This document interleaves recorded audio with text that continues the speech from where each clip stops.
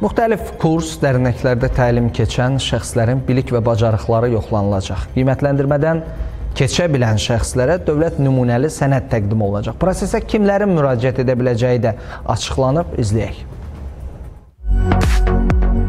Özünü təhsil yolu ilə biliklərə yiyələnən, müxtəlif kurslarda, dərnəklərdə təlim keçən şəxslərin bilik və bacarıqları qiymətləndiriləcək. Sənədləri dövlət tərəfindən tanınacaq.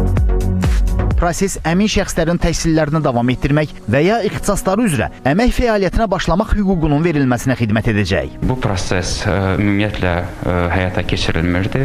Buna görə də qeyri-formal və informal ə, təhsil formalarında ə, təhsil alanlar təhsillərini ə, növbəti ə, peşə təhsili səviyyəsi üzrə davam etdirə bilmirdi və ə, rəsmi peşə təhsilli şəxslər kimi əmək bazarına daxil ola bilmirdi. Qeyd etdiyim artıq ə, problemlər öz ə, həllini tapacaqdır.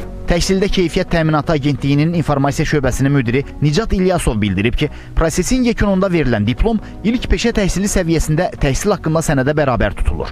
Qiymətləndirmədən keçə bilən şəxslərə dövlət nümunəli sənəd təqdim olunacaq. Ümumi orta təhsil səviyyəsini ən azı 4 il əvvəl və ya tam orta təhsil səviyyəsini ə, ən azı 2 il əvvəl bitirərək ə, müraciət etdiyi müvafiq ixtisas üzrə ən azı 2 il qeyri-formal və ya informal ə, təhsil ə, yolu ilə ə, əldə etdiyi bilik, bacarıq, səriştə əldə etmiş şəxslər qiymətləndirmə və tanınma üçün müraciət edə bilərlər. Nicat İlyasov onu da bildirib ki, pandemiya ilə əlaqədar mövcud karantin rejimi nəzərə alınmaqla proses üzrə müvafiq mexanizmlər hazırlanacaq.